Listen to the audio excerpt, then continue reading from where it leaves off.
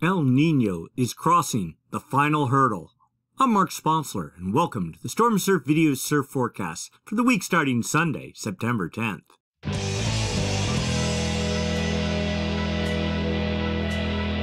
Storm surf, waves, weather, buoys, altimetry, snow, temperatures, El Nino, weather analysis, essential data for outdoor people, all the time, no hype. Be sure and like and subscribe. Ring the bell. You'll get automatic notifications when the videos are posted, typically on Sunday evenings. And if you'd like to make a donation, you can. Just hit the special thanks button down below, the heart with the dollar sign in it. And with that, I'd like to thank the folks that donated last week. Tim Caston, Don Mendraten, Elliot Harris, Frank Frost, Lloyd Morrison, Gary Niblock, Coach Nate, Jason Odom, thank you Jason, and Opisha, Thank you all very much. We appreciate your contribution. And with that, let's get to work. We'll start by looking at significant wave heights for the South Pacific Ocean. Yes, it's September and we're still looking down south. That is attributable to the six-week stall in seasons brought on by three years of La Nina. We think or at least we're hoping that we're going to bust through that door pretty soon and get into a more seasonal pattern, but maybe not for a couple more weeks. We're thinking maybe the end of September. Anyway, small gale has produced 23 foot seas here east of New Zealand, really of no concern, and there's nothing else going on in the South Pacific. Next up, current conditions. We'll start in Northern California. The Point Reyes buoy number 029. We're looking at all the energy that's currently hitting that buoy from anywhere up at 33.3 second super long period energy, and you see zero feet, no energy there. Little bump here somewhere in the 11 to 12 second range. That's uh, from Hurricane Jova, and then some local wind swell down in the 6 to 5 second period range. It's basically 5 seconds. It's basically unrideable chop six seconds is about where we start saying that chop is semi-rideable. Uh, putting that all together, we see primary swell 2.9 feet at 12.2 seconds from 169 degrees. So shadowed for most, but the most exposed breaks, that'd be surfing about the three and a half foot range, and that's about what's going on. And then you have your wind swell 3.8 feet at 5.8 seconds from the northwest, 323 degrees. And then we're going right to Southern California, the Point Loma South Buoy, number 191. Same sort of profile, little bits of uh, the tropical swell energy here at about 10 seconds, something like that, with some wind swell mixed in. Put that together, three and a half feet at 10.5 seconds from 164 degrees. That's surf at about 3.7 feet. We'll say waist to stomach high, something like that. And really, nothing else going on. And then finally, to the south shore of Oahu, the Barbers Point buoy number 238. We see not even that much going on. A little bump here at 16 seconds. It's like half a foot and a bunch of wind swell mixed in. Primary swell, two feet at 8.2 seconds from 166 degrees. So just pretty much unrideable wind swell, thigh high, something like that. And there's your uh, longer period energy, 0.9 feet at 16.5 seconds, one and a half feet, making for thigh high surf on the south shore. But it's not all doom and gloom. We're going to go back in time. We're starting on 0Z Sunday, the 3rd of September. So that's really uh, Saturday night, the 2nd of September, a week ago. Um, a little gale push, oh, New Zealand here, Australia here, Ross Ice Shelf. This is Antarctic ice going the whole way across. There's Peru, Chile, and Galapagos Islands, and the equator right there. So a little gale pushed under New Zealand on Sunday. Really didn't do a whole lot. Seas 24.2 feet. These are the highest seas over the entire domain. You see the little plus sign. It's sitting right there in the middle of that sea so that we know that's the area that we're looking at. Really, that's not enough to create enough of a period of a swell to push north of the equator. So not a whole lot. But then on Tuesday, the 5th of September, the system got better organized with 28 foot seas building to 31 feet and a little bit more. We got 35 feet theoretically over maybe one pixel there in the image. And again, 34 feet as we got into Wednesday, the 6th of September. Uh, the Southern California cutoff over here at about 117 west. So those seas faded. A little bit more energy circulated into about Thursday, and that was over. Swell from that system is pushing north for mainly southern and north California, Hawaii, pretty much east of, uh, or the fetch was east of Hawaii, so no swell expected there. And then we fast forward to this morning, or actually Saturday night, another little gale tried to organize, or was trying to organize, only 23 foot seas. There we go, 24 foot seas. And that was it. This system previously was forecast, even like four days ago, was forecast to have up to like 30 foot seas aimed north. And then sometime uh, between Friday and Saturday, it all just fell apart. And so no swell is expected from that. So one is queued up, pushing north. Now we got to go look to see if there's something in the forecast looking ahead.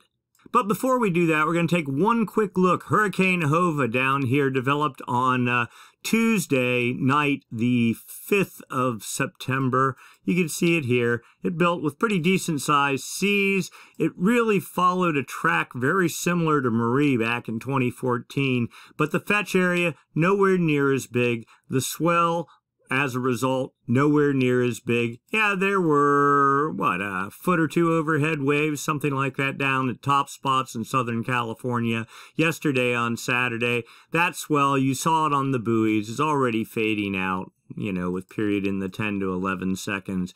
Really, this wasn't a great swell producer. A hurricane needs to be traveling more north then off to the west. It needs to have a big fetch area. It can have a lot of winds. This system got up to, I don't, know, I don't remember, 140, uh, 140 mile an hour wind, something like 125, 130 knots.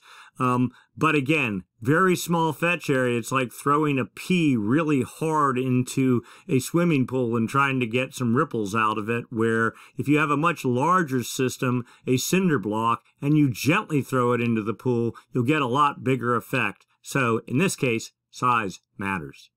So let's look forward. We're going to start at jet stream, looking at jet stream level winds. These winds up about 30,000 feet help support the formation of gales when they form, help direct their track. We're looking for a trough, a pushing the jet to the north, just like right there. What that helps do is create a clockwise circulation, an eddy in the upper atmosphere and also down at the ocean surface.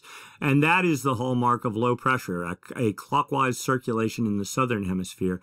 And of course, Low pressure, if it's strong enough, generates winds, Winds get traction on the ocean surface and generate seas. Seas, as they radiate away from the fetch area, eventually turn into swell. They get groomed out and turn into swell. Swell, when it hits your beach, turns into surf. So it all starts with a trough. We have a trough right here in the South Pacific.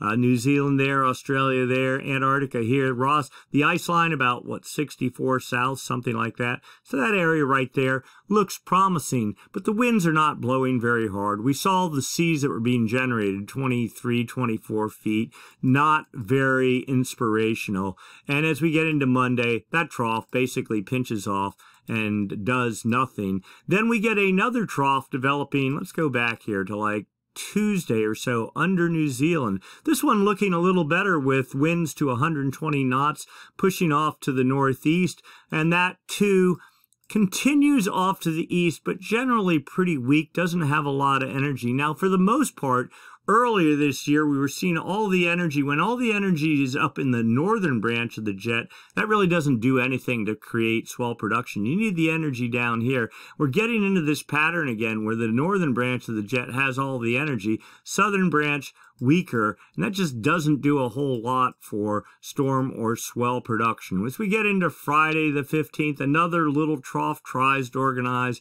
It fades out. Saturday, everything sort of falls apart again. Now we get a good flow as we get into Sunday. We're a week out again. Don't believe the model's out a week, but uh, with 150 knot winds pushing under Australia and to the tip of New Zealand, maybe some hope there. We'll just have to watch it, but it doesn't look super promising on this chart as of right now. So let's go down to the surface. Surface level pressure and surface level winds. It is wind blowing on the ocean surface that makes waves. The jet stream winds just support surface level gales. So that's where we start. They're a good indicator of whether there's a foundation for the gale. You have to have a foundation in the upper atmosphere, but at the end, you got to have winds on the ocean surface or you're not getting any seas. All right, so as of right now, Sunday, high pressure east of New Zealand, 1036 millibar. This weak little diffuse gale of some sort was at 968 millibar uh, low here, but kind of all fragmented. There's your 30 knot winds aim north, and that's really not enough. You need pretty much 40 knot winds over a good size area. So we get into Monday, that all falls apart. The new low starts building under New Zealand. Yes, there's fetch here, but it's pretty much all over ice and not of any interest. So we're stuck with this 35 knot fetch aimed off to the northeast here. Tuesday, that continues. We get this broad pattern of 30 to 35 knot winds, little core to 40, but you need a broader core than that. It tries again into Tuesday night and Wednesday, but mainly 30 to 35 knot winds. Then another fetch tries to organize over New Zealand. It falls apart and just a diffuse pattern. Yes, there's 35 knot winds on Friday. They're all aimed to the south. Penguin storm there. Again, now it tries on Saturday. This is looking much more interesting with 40 knot winds here and another 45 to 50 knot winds aimed off to the, we'll say, east northeast.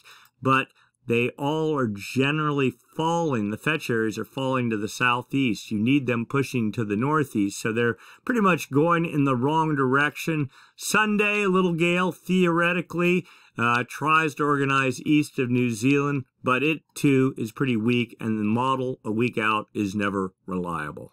So what's the effect of those winds on the ocean surface? Well, we know right now there's a little gale here not really doing anything. Of course, it dissolves. We know there's another system forecast pushing under New Zealand. We just saw it. Seas only 20, maybe 24 feet in a couple little pockets uh, and mainly in the 23 foot range. No hope there. And then we know there's smatterings of other little fetch trying to organize. Here we go into Saturday, but this falling southeast, yes. And this other low, let's see if it lasts. Has a little area 30 to 32 foot seas, maybe lifting northeast, but we'll see. Week out, not really believable. And then just for fun, a quick look at the Northern Hemisphere jet stream. Uh, we were hoping that it would wake up, that it would be strong, that El Nino would be influencing it and driving it, but that doesn't appear to be the case here we are in September, things, if the, if El Nino was really getting a firm grip on the atmosphere, we'd be seeing it now. Part of this is also, we think, the delay of the seasons. We're still trying to beat the last little hangovers of La Nina. Um, so we're just blasting through the jet stream model here. We see a little bit of a trough trying to organize Tuesday, being fed by, eh, not bad, 140 knot winds at one point there. Maybe possibly doing something. And then some more as we get into Saturday with uh, 140 knot winds. So not looking horrible, but not looking off the charts either. Uh, if anything, late getting traction this year. And just a quick jump, the effect of those winds on the ocean surface. Again, we want to see 20, at least 20 foot seas. I'm into Tuesday, Wednesday here. We're just looking for anything. Yeah, we know there's fetch here. The jet stream looked good, but Nothing is lasting long enough to even generate 20 foot seas. 20 foot seas would be this like the first little peach color here. And it's just not doing it. And that's it. So nothing for the North Pacific for the coming week. So then we start looking for the potential for wind swell. See low pressure here in the Gulf of Alaska, and yes, this is Alaska, the Gulf of Alaska, uh, Washington, Oregon, California, Southern California down here in the Baja, remnants of Jova and Hawaii here. We see some fetch, 20 knots, but that's, or even, even up to 30 knots for a second as of now, but that quickly fades as we get into Monday. Jova fades out. High pressure builds in. The typical gradient, it's not even a summertime pressure gradient. It's just a nondescript, kind of worthless pressure gradient pushing down the coast, generating 20 knot winds along the California coast. Light trades for the Hawaiian Islands. Tuesday, pretty much the same thing. Yeah, that'll generate some wind swell. Light trades for the Hawaiian Islands. Wednesday, same deal. As we get into Thursday, the gradient moves up off of Northern California. Winds uh, start to dissipate for most of North, Central, and of course all of Southern California. Light trades for the Hawaiian Islands. Friday, rel relatively light wind pattern for California. Again, Fetch trying to get a foothold in the Gulf of Alaska, not doing it. Light trades for the Hawaiian Islands. We're into Saturday, light wind regime, and both in Hawaii and California. We get into Sunday, more of the same, just nothing real obvious in terms of wind swell production or in terms of tropics, and uh, nothing in the Gulf of Alaska of any meaningful value. So that gets us to the surf forecast. We're going to start in Half Moon Bay, good representation for Northern California. So all looks like basically wind swell in the two to three to maybe four foot range on Tuesday. Let's go take a look here. Swell heights and swell periods. Heights, it's pretty much five feet, mm, five feet or less down to two feet at you know, six, seven seconds, maybe even eight seconds. Notice there's a little peak here of southern hemi swell starting to come in on uh, late on Tuesday, early Wednesday, but the wind swell pretty much bearing all that. Let's go look in Southern California. It'll tell the tale of the southern hemi swell. We go to Dana Point, we see uh, wave heights of or surf heights of three feet fading down, and then as we get into Wednesday, they come up to about three and a half feet. That's for a standard break, just like a sand bottom, no special bathymetry, no reef, anything like that. Uh, this could be easily one and a half times this size at top spots. Uh, swell heights two feet at 10 to 9 seconds. That's the pure, that's the leftover Jova swell, some wind swell. Then here we go, southern hemi swell arriving Wednesday morning in the two to two and a half foot range at 16 to 15 seconds and slowly fading out as we get through the weekend. So at least surf midweek and into the weekend beyond. For Oahu, unfortunately, not as rosy a picture. We see surf heights in about the two foot range at that, and then even smaller. Looking at doing the swell analysis, oh, one and a half to two feet pieces of energy at 15 to 16 seconds, falling down to 11 and 12 seconds. Background swell energy probably emanating from somewhere south of the islands, but pretty nondescript. If it's kind of like this hit or miss type thing, it's not a strong swell. Yes, you go out on a longboard, catch some waves, have fun, but no serious surf expected. And that sets us up to go take a look long term. What's going on with the Madden Julian oscillation and the El Nino Southern oscillation? These two oscillations are the major influencers of swell producing surf and snow in the Pacific Basin, mainly in winter months, but they also have an effect during summer months as well. We're looking for signs of the active phase of the MJO, the Madden-Julian oscillation. It has two phases, the active and inactive phase. It, they, these two phases rotate, they're like a weather system that rotates from west to east around the planet on the equator. The active phase on one side of the planet, the inactive phase on the other, rotating like that. It is the active phase that is good for enhancing storms and producing surf. The active phase is like a low pressure system. The inactive phase does the exact opposite. It's a high pressure system and it stomps on storm production. When the active phase moves into the far west Pacific, what it does is takes warm moist energy down at the ocean surf surface, lifts it high aloft, and that gets caught by the jet stream. It feeds energy into the jet stream and a stronger energy a stronger jet stream helps create troughs, troughs create storms, and storms create surf. Also, the active phase of the MJO uh, helps dampen trade winds, and especially you want that over the far west Pacific. And it dampens the trades on the equator. And if it's strong enough, it can actually reverse the trade winds. That allows warm water that's normally pushed into the far west Pacific, driven there by steady trade winds, to start moving east under the equator, not on the ocean surface, but under the equator in a thing known as a Kelvin wave. So if you have a strong active phase of the MJO and it dampens the trade winds, it can create a Kelvin wave. That Kelvin wave takes eh, about four months to make its way across the Pacific under the equator. Eventually that ball of warm water will erupt as it impacts the Galapagos and into Ecuador and create a warm water slick there if you have successive active phases of the MJO, and the MJO typically goes active for like four to six weeks, inactive for four to six weeks, and then active again for four to six weeks.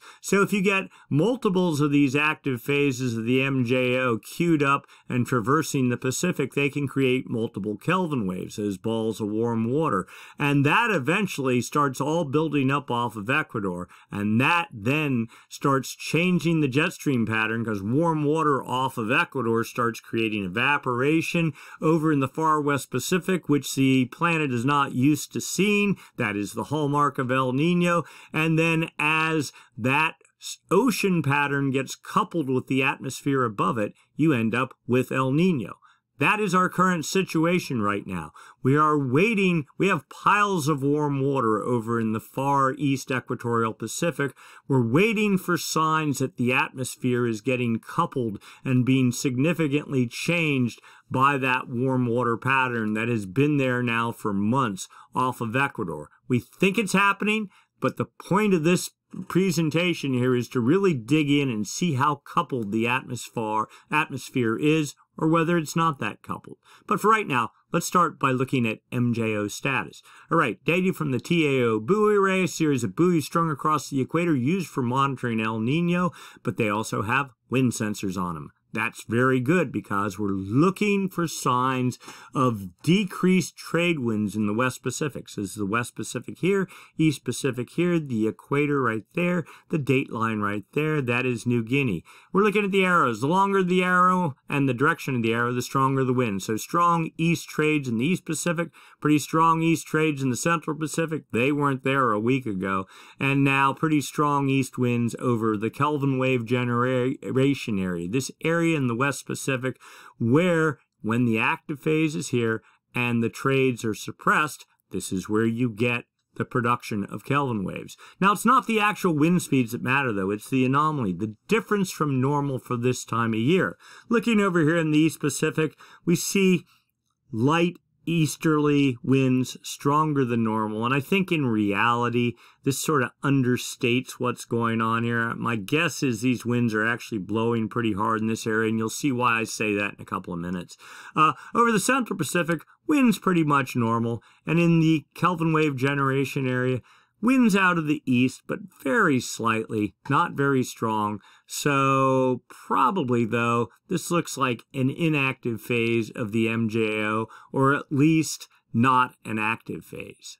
What have winds been doing in the West Pacific the past five days? Well, we can look at it right here. 850 millibar vector wind anomalies. It's uh, so this is at 850 millibars. That's up about 4,700 feet, but it's a good proxy for what's going on at the surface. There is South America, Chile, Peru, Central America, Hawaii there, New Guinea there, the equator there date line there, the all-important Kelvin wave generation area here, September 4th, the blues easterly anomalies. You can barely see the arrows there. Uh, again, weak easterly anomalies on the 5th.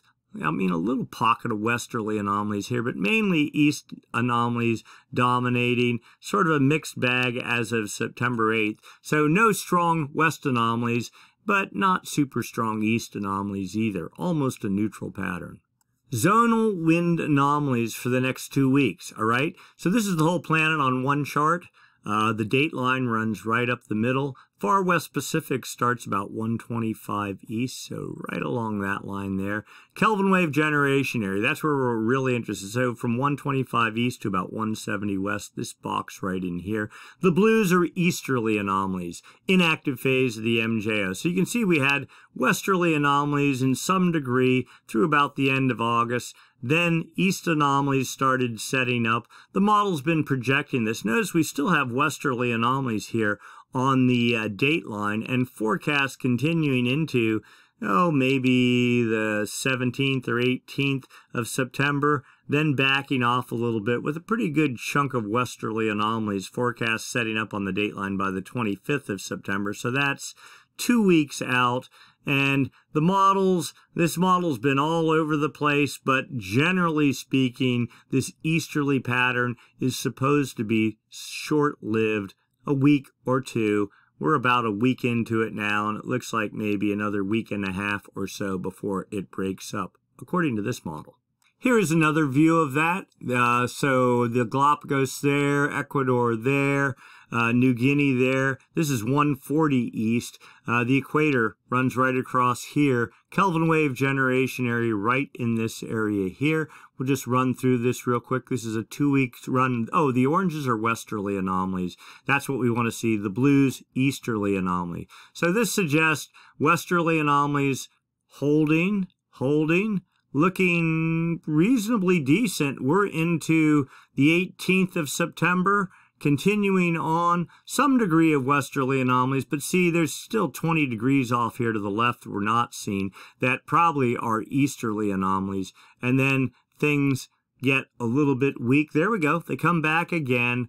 Um, we're also looking at the easterly pattern off of Ecuador. That's going to come into play. So we'll just play this whole thing through again. Westerly anomalies looking reasonable through till about 21st of September. They break up a bit, then they come back pretty quickly after that. So sort of a mixed bag of east and westerly anomalies. Let's do one other look here. This is 850 millibar zonal wind anomalies. The west component of the wind, orange there. Let's see if we can do this. This is from the GFS model and a Kelvin wave generation area starting right about here, going over to about here. This suggests westerly anomalies pretty much holding in some fashion in the Kelvin wave generation area till about the 16th of September. And this only goes out 10 days, I believe it is, and then fading some. The GEFS model, pretty much painting the same picture.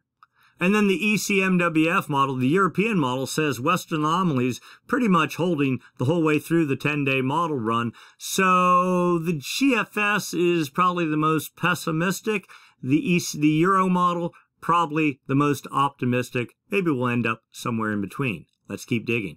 Another component of the MJO, the active phase, is cloud cover. If the active phase of the MJO is a low pressure system, low pressure systems take warm moist air, lift it aloft, it hits colder air aloft, condenses, forms clouds. This model is a representation of cloud cover. This is a statistic model. Uh, again, South America, Central America, Hawaii, Australia, New Guinea, equator right there date line right there. We're looking for the active phase or some version of it in the West Pacific right here, Kelvin wave generation area. According to the statistic model, uh, the blue is less outgoing long wave radiation. That means sunlight reflecting off the ocean surface. It gets obscured by clouds, so you get negative anomalies. So this means more cloud cover. Roughly the active phase of the MJO. It says today it's there, building, and building and building two weeks out. That looks good.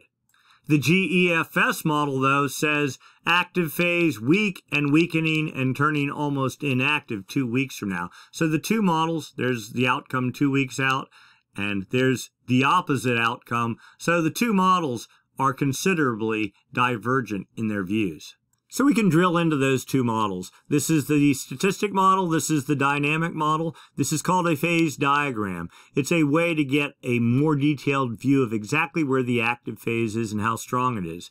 The dot right here is the active phase. But how do you read this? Well, the MJO moves from west to east, from the Indian Ocean to the Maritime Continent, to the West Pacific, to the East Pacific, uh, under the United States, across the Atlantic, over Africa, back to the Indian Ocean. The heavy dot, the further it is away from the circle, the stronger the active phase is. So you want to see it in the West Pacific, up in here, very strong. Now, the one thing to keep in mind and not to be too dismayed by these charts is during El Nino, the active phase sort of disappears and becomes absorbed into the El Nino base state. And El Nino itself is like a month, months long running active phase of the MJO. All right. We're not there yet, but when the atmosphere and the ocean get, gets coupled, that's what happens. So, and the active phase is, of course, a storm generating machine. So that's what we want to see. Right now, active phase, though, in the so far eastern Indian Ocean, western maritime continent, and the the closer the dot is to this circle, the weaker it is. So a modestly weak active phase of the MJO. Three different runs. Well, one says it moving into the West Pacific and looking pretty strong uh, two weeks from now. Two others just saying it decaying and being incredibly weak in the West Pacific. The dynamic model, the GFS model, says no, the active phase just crashing back into the Indian Ocean and curling up in a ball and hiding from itself. So no hope there. The upper level model. This is an, another version that shows you potential for precipitation. The green wet air, the orange dry air. It's suggesting today, oh, how do we read this? There's South America, Central America, equator right there, dateline roughly there, New Guinea there. Active phase, this is the Kelvin wave generation area right here. Active phase over the Kelvin wave generation area, moving east and east and out of the picture by at the end of September with the inactive phase coming in, taking over the whole way through to the end of October and then the active phase returns. So no real hope there unless you believe this is doing something. But again, this is a statistic model. And I think it's overhyping the uh, active phase some. Now, if that seems a little bit depressing, that's not the whole picture. It's one side of the story. The CFS model paints a completely different picture. All right, again, this is back to the east-west component of the winds, the reds, or we want to see westerly anomalies. And let's go the date line right there. So Kelvin wave generation area starts right about here, 125 east, goes to about 180. This is past performance here. Dotted contour, inactive phase, solid contour active phase. You can see this big blast of westerly anomalies started about mid-July. Kind of pretty much has gone non-stop the whole way through August. Now here we are, this dotted contour, I'll call it like the inactive phase of an equatorial Rossby wave. That's what's driving these easterly anomalies. It is not the inactive phase of the MJO. I mean, you can see the inactive phase over here, but over in the Kelvin wave generation area, that's not really what's going on. And even better yet, this model suggests these easterly anomalies maybe are to hold through today, and starting about the 10th or 11th, they start building on the date line. Yes, the easterly anomalies hold in some fashion in the far, far west Pacific, but over the dateline, westerly anomalies building to almost strong status in a couple of days, and then basically holding nonstop, filling the whole Kelvin wave generation area as we get into the beginning of October, the end of September. So a much better picture here. And then if you don't like what a model shows a month out, let's go three months out. This is a long range CFS model. Let's get ourselves oriented. Date line right here. Now the forecast is up here. What has happened is down here. All right, Kelvin wave generation area starts here about 125 east and goes over to about 170 west here. So here we are today. Now this is uh, outgoing long wave radiation, cloud cover. The blues are cloudy skies, so that would be low pressure. The reds and oranges, clear skies, high pressure. All right. And starting literally today, this model suggests a building clouded pattern over the date line and you can see it just getting stronger and stronger and stronger as we get into December as cloud-free drought conditions set up over the maritime continent. This is classic El Nino sort of pattern. And you can see the beginnings of that, this cloud-free pattern down building since, oh, even into, I'd say, July in earnest, maybe even before that. And we've gotten some reports from some of our viewers that live in Australia, and they say, yeah, things are pretty dry here. And it only looks like it's going to get more so that way. And you can see the weekly building cloud cover pattern setting up over the dateline. I think the model's probably grossly overhyping this, at least in the short term, but it still looks favorable. And then we switch over to the westerly east-west component of the wind pattern. It tells the exact same story. It's like the last of the easterly anomalies are moving over the maritime continent, pretty much starting today. Westerly anomalies start building, give it the 12th or the 13th little pretty good little burst here maybe on the 15th of September. That's only five days out. You can see as we get into the latter part of September, the whole way into November and even December, just mega westerly anomalies forecast. Again, I don't believe a model a week out, much less three months out, but this model's done a reasonably good job, and you can see it here, westerly anomalies building on the date line, while easterly anomalies are already building over the maritime continent. And all this is basically saying is that pattern's going to continue and get even stronger as we get into the fall season. The real kicker here, the key is the seasonal transition. We think the seasons are delayed. We said six weeks. I still think it's going to be the end of September. I mean, this literally says the end of September. And all of a sudden, the El Nino machine comes to life. And I think that's exactly what's going to happen. We're going to sort of sit in this netherland trying to pick for little signs of things that are coming or working in our favor. And then all of a sudden the dam's going to break and boom, it's going to open up and things are going to start happening. I think we're poised to do that. Let's overlay the MJO here. All right, dotted contour, inactive phase of the MJO. It's in control. We're two days from it peaking, but right about the time it peaks and starts fading, that's when the westerly anomalies start kicking in. Then the active phase builds on top of that. That constructively interferes with the El Nino base state, state, state. That's like two waves syncing up together. They amplify each other, and boom, you get these mega westerly anomalies. And then by then, the atmosphere and the ocean are coupled. The inactive phase of the MJO forecast by the end of September cannot hold back the tide, and we're in the running then. Let's overlay the low pass filter. Here's where things get really interesting. So, the solid contour is a low pressure bias. It's the El Nino signal. The dotted contour is the La Nina signal.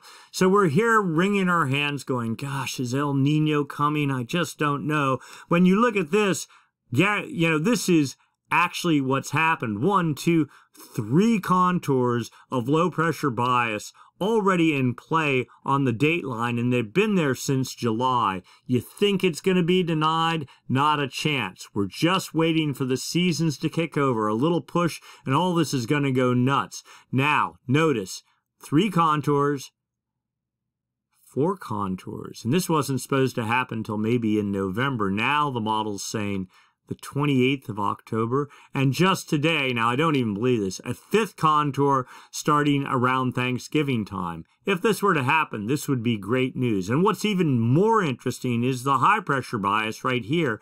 It was not originally supposed to dissipate. It's right now basically over top of, or, uh, under California on the equator, it wasn't even supposed to get ramped up to like oct- or, or, fade out till October 18th. Now the model is continually saying it's getting weaker and weaker. They're saying in another week and a half, the high pressure bias is going to be gone completely. We're fully in business if you believe this model. And one quick look, outgoing long wave radiation actuals, okay, not from models, just another view of that. Okay, what has happened is up here, this is, there is no forecast, this is just all actuals. The oranges and reds, clear skies, high pressure, the date line runs right up the middle here, and wet or cloudy skies over the maritime continent back in, this was last year during the peak. So this is the clear La Nina signal, dry in the Pacific, wet over the maritime continent. Then we got to somewhere in late June, you see the wet anomalies building on the date line. Today, not so much. And you see the dry air, which was here on the date line, backfilling over the maritime continent. The pattern is changing, just not as quick as we'd like. It's like, it's really feeling like this El Nino might be very late in evolving, which maybe isn't a bad thing. All right, enough of the MJO thing. What's going on in the ocean? All right, subsurface temperatures. Data from the TAO buoy array, those series of buoys that are strung across the equator used for monitoring El Nino. These are the anchor lines on the buoys. The X's are sensors on those anchor lines. The sensors collect data, use a model to fill in the copious gaps in between, and you get a profile of, remember we were talking about Kelvin waves. Are Kelvin waves present? Are they moving from west to east?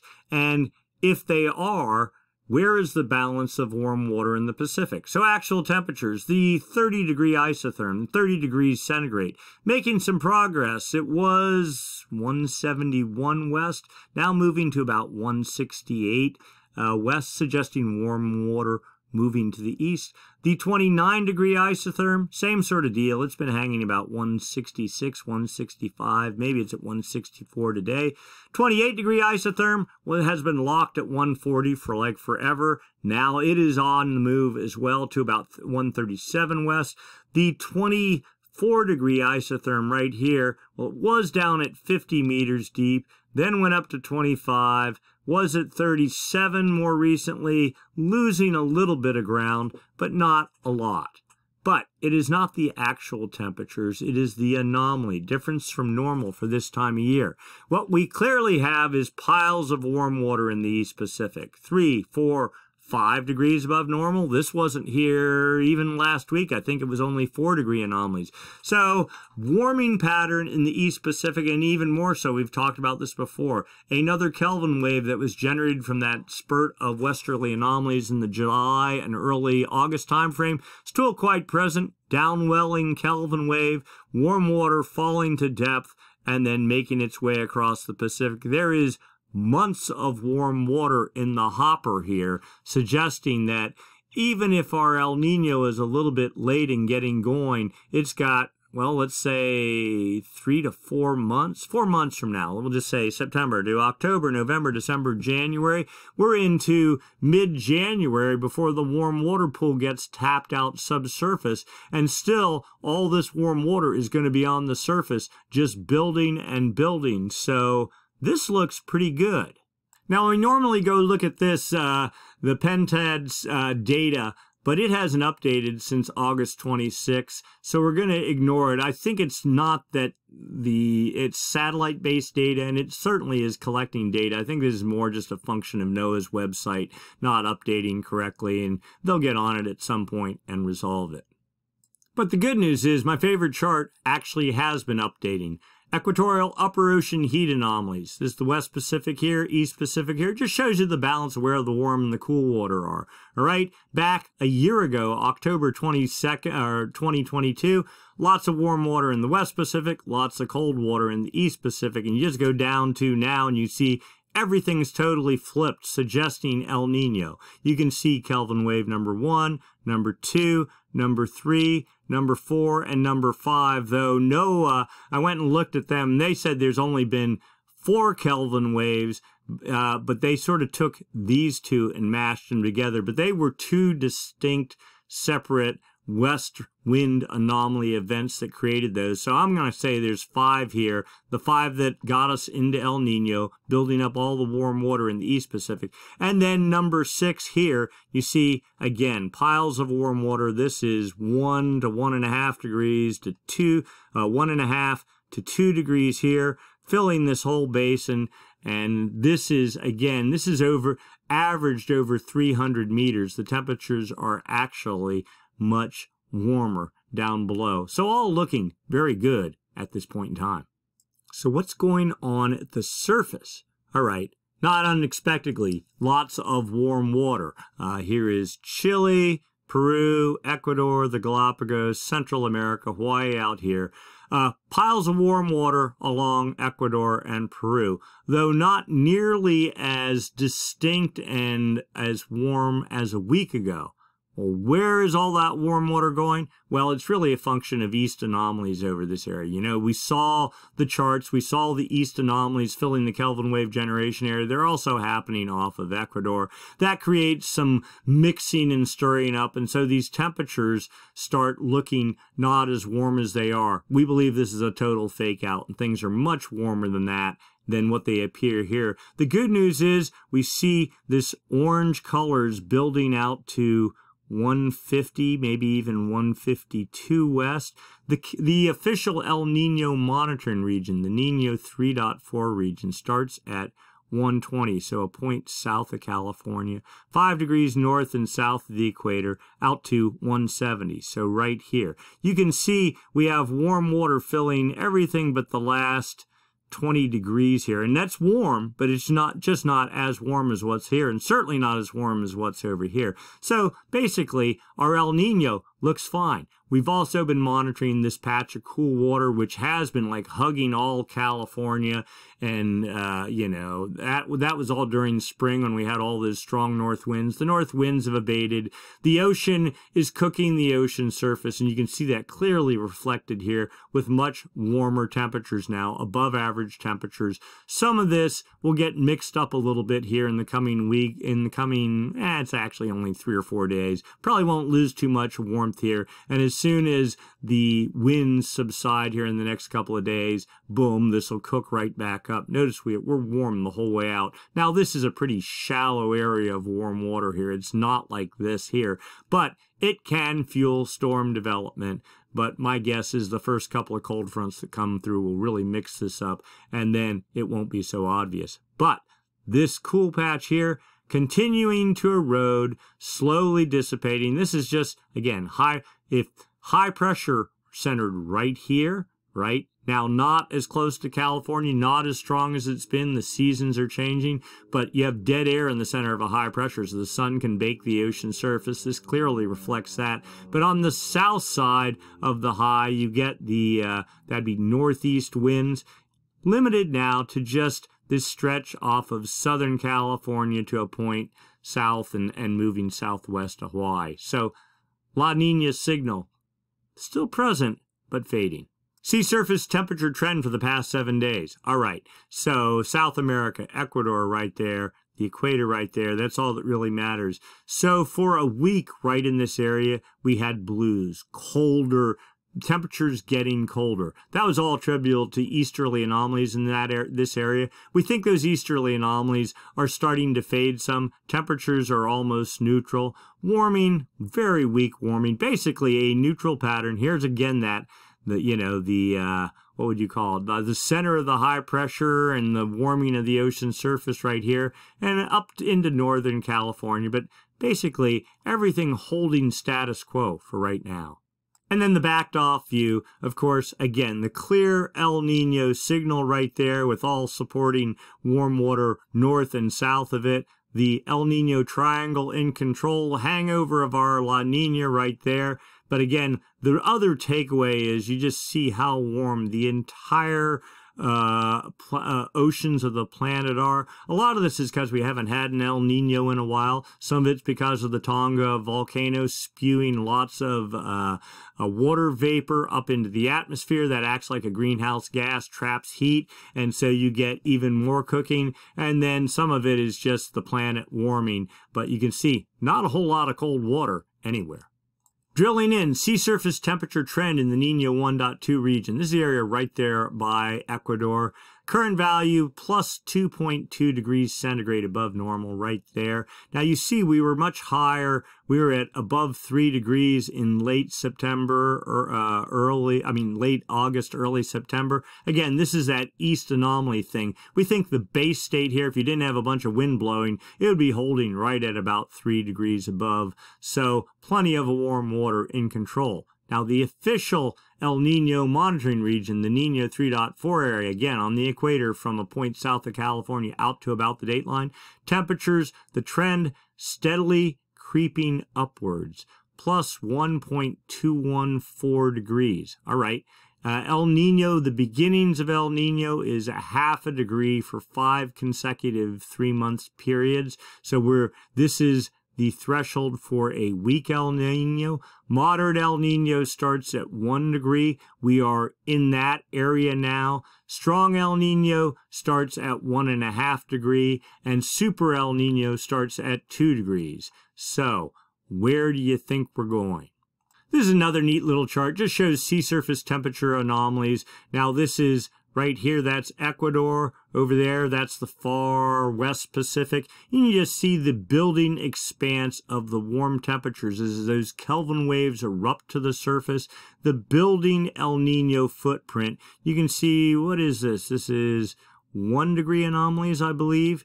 Right here, this line, going the whole way out to uh, past the date line. So the El Nino signal continuing to build, we expect that will continue. This is not going to dissipate. So let's do a quick comparison of our current El Nino state as compared to uh, two other super El Ninos in the past. Here we are, September 9th. You can see the warm pattern. Now, again, this is actually muted by easterly anomalies. Here is, I think I can pull this up. Here's what we were at last week. So you can see the difference between the two. Um, just the easterly winds take some of the deep reds out of here. Okay. But even at that, let's compare this to 2015 at this point in time, 9th of September 2015. And here's where we are today we're still blowing that away. And then we compare to 1997. Well, 97 at this time clearly is blowing us away, even if you use the most optimistic picture, which was last week. Yeah, can't compare to that. But I went and looked at everything else from 97 up to today, and there's nothing that can touch this El Nino at this current point in time other than the 97 El Nino. So we're still doing quite good. And remember, 97 was a super El Nino, and also, where is it? 2015 turned into a super El Nino too. So we're in good company. Ocean surface currents. We can look at that as well here. So there is New Guinea, Philippines there, uh, the maritime continent, all the little islands. Notice all the cooking warm water in here winds and the current taking that warm water, dragging it off to the east. Now, this is just winds and uh, this is current here, the actual current on the ocean surface, driven by winds, okay, but it doesn't turn on a dime. This suggests persistent westerly anomalies have made a mark and set up a steady uh, transport current on the ocean surface to some point here. Now let's go over and look the other way. Here is Ecuador, and there we go, Galapagos there. We have an eastward current there, okay? Um, we have talked about the Walker circulation in the past. It's basically like a chimney that sets up over the Pacific with wind and current flowing into it from here and from here creates a big low, the low pressure bias we talked about. And we think it is right there where that dot is, which is at 163 west. We think that's the convergence point of these two currents. Maybe it could be over here at 166, but either way, somewhere almost south of Hawaii is the center of, we think, is a developing Walker circulation, the coupling of the ocean and the atmosphere. This is our be best bit of evidence between this and the outgoing long wave radiation models. Now, the surface, things look good. It's the upper atmosphere that we're not seeing the outgoing long wave radiation pattern looking as strong as we want it to be. But again, the consideration is we think we are delayed in the seasons. And even for that Walker circulation to be getting really strong in September would probably be a little bit on the optimistic side, except for the strongest of El Ninos. All right, so what does the atmosphere think is going on? This is, again, some actually very good news. The Southern Oscillation Index. Difference in pressure between Darwin, Australia, which is the maritime continent, and Tahiti, which is clearly in the Pacific, both of them roughly on the equator. When pressure is lower on average in Tahiti then as compared to Darwin, the index goes negative. Wow, minus 21.57. We're not even in the active phase of the MJO, and we're down at minus 21.57. And look at this. We've been just negative for quite a long time. Uh, I think it's 27 days or something like that. This is looking good. In fact, it's looking very good. The 30-day average, minus 9.31. Not as deep as we'd like it. We were down lower. This is heavily influenced by the MJO. When the active phase of the MJO moves over, it really can dip this. But let's just sort of go back. We're minus 13.46. We're at minus 9.31. And because things have been falling so much lately, we think this is going to, well, you can see it. It's, it's, we sort of topped out at minus 8.71 and now we're starting to head down. We think we're going to go down deeper than that. 90 day average, not that great, minus 6.85. Oh, by the way, we'd want to see this down at minus 25 at like a peak of El Nino, and this at minus like 15 during the peak of El Nino. We're at minus 6.85. The trend, eh, pretty much holding steady more or less. So no clear sign of El Nino yet, but again, this runs almost three months behind whatever's happening right now, but we know looking at the surface, we're right on the cusp of something happening in terms of the Walker circulation getting set up. The dam is poised to break, but I'm not going to say it's breaking yet because it isn't. It's just all the fundamentals are there. Here's a 30-day moving SOI. Again, positive territory, La Nina, negative ter territory, El Nino. During La Nina, you can see, oh, and the, the downward spikes are the active phase, the MJO. The upward spikes, the inactive phase. During La Nina, the inactive phase, high pressure, took control of the Pacific. Then starting January of this year, boom, the first major just, well, it was really one, two, three massive active phases of the MJO dropped us way down. We kind of lost ground. Here we are toggling around somewhere around the 10 range, waiting for the next big pulse of whatever. And I think what it's going to be is the Walker circulation taking control. The MJO will completely disappear and then we'll be off to the races. We're poised to do that. And then finally, the forecast for sea surface temperature anomalies in the Nino 3.4 region, the official El Nino monitoring region from the CFS version 2, which is pretty consistent with most of the other dynamic models. So here we are in August, September, right in here. Temperature supposedly uh, 1.4 degrees above normal. We're in the high medium state trying to move into strong El Nino status. I think what we're really waiting for is the Walker circulation to uh, take control, signaling a coupling of the ocean and the atmosphere. And that, I think, is attributable to just we need a push in the change of the season to get us there. The forecast has by October right on the cusp of uh, strong, medium to weak, strong uh, uh, uh, uh El Nino. And then as we get into November, now this has gone down. At one point, this has suggested temperatures up at 2.2.